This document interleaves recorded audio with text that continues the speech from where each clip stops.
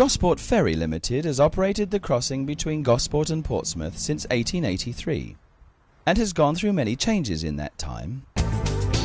More recently, both Portsmouth and Gosport have also enjoyed major refurbishments to their harbour waterfronts. On the Gosport side, the Falklands Gardens area, dedicated to the service personnel who lost their lives during the Falklands conflict of 1982, forms a centrepiece which gives visitors an unrivaled view over the harbour. The Millennium Walkway now provides access along a huge waterfront path, stretching from the Explosion Museum at Hardway, which houses one of the most comprehensive armaments displays in England, through to Haslar Lake, which features the remains of the ramparts which originally enclosed the town. Gosport now hosts fashionable marinas at Camper and Nicholson and Haslar. A solar clock by Trinity Green gives a unique insight into how time was measured before watches existed. Gosport has a thriving market, which takes over the whole of the town centre on Tuesdays and Saturdays, combining occasionally with a visiting French market.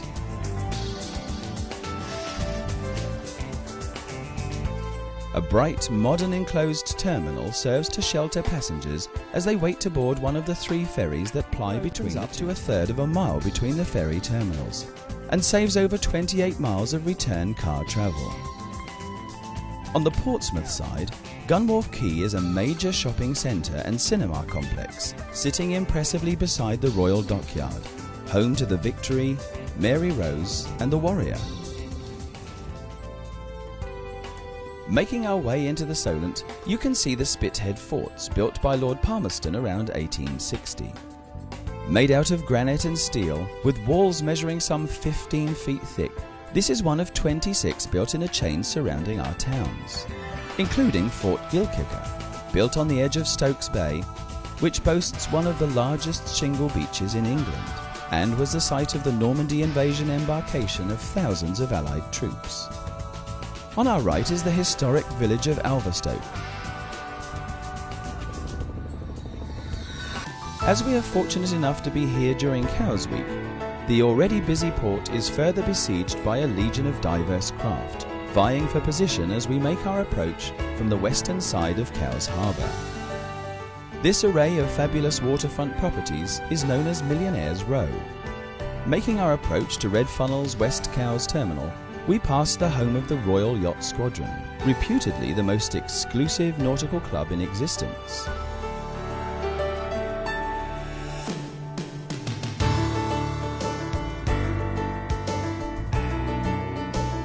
Already berthed alongside our jetty is Red Funnel's latest fast commuter ferry, Red Jet 3.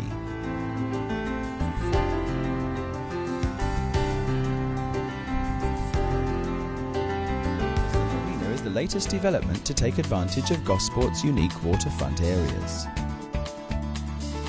All submariners know Gosport, as it was at HMS Dolphin that all new recruits received their training.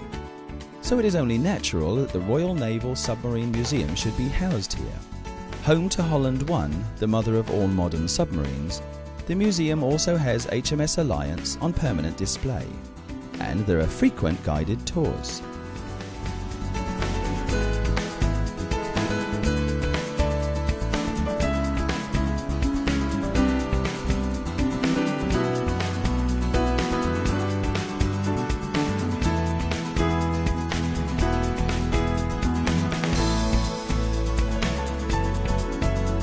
Gosport Ferry has for over a hundred years been carrying passengers across the harbour, and almost three and a half million people annually make the crossing.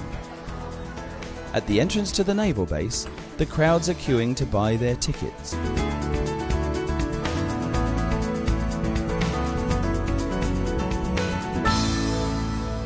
For years, Navy Days were an annual part of local life, with thousands of visitors flocking to the area to view the majesty of the English fleet.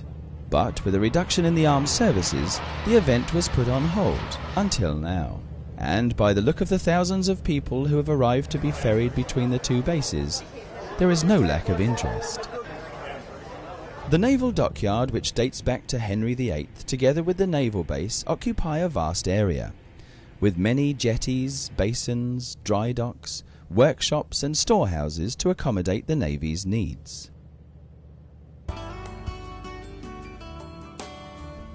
The first of the ships in port is the Libertad. Built in Argentina at Rio Santiago in 1963, she holds the record for the fastest crossing of the North Atlantic by a square rigger, set in the 1970s, and is currently used as a sail training ship.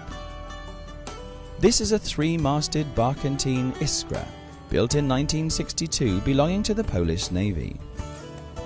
Astern of her is the Malcolm Miller, one of our own sail training ships. Just arriving for the festival is the Matthew, an exact replica of the original which sailed across the North Atlantic 300 years ago. We are now passing the King's Stairs jetty. The steps would have been used by Nelson and his officers on the way to the Battle of Trafalgar, and you can see the officers' sleeping quarters as we pass by the rear of HMS Victory.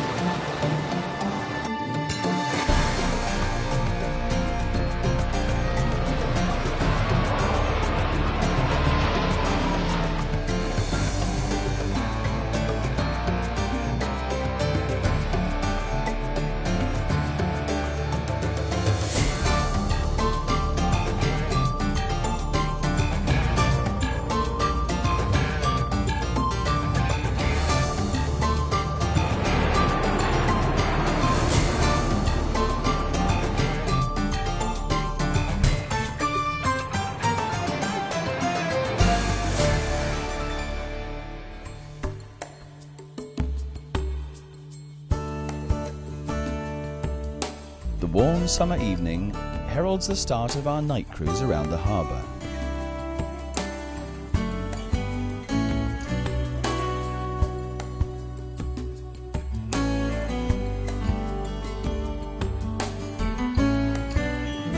The bustle of the day has turned into the sophisticated sounds of the evening, and the boats take on a new form as the slowly gathering dusk gives soft silhouettes to the ship's outlines. So sit back for a while and enjoy taking in the sights as they unfold.